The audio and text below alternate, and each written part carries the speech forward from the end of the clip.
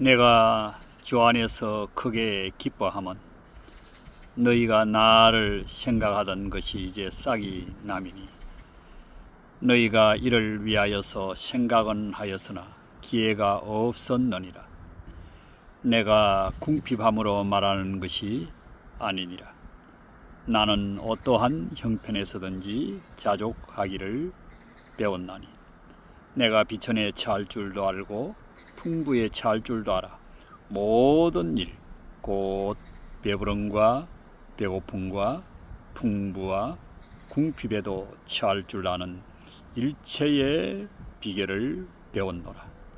내게 능력 주시는 자 안에서 내가 모든 것을 할 수 있느니라. 빌립보서 4장 10절에서 13절 말씀. 아멘.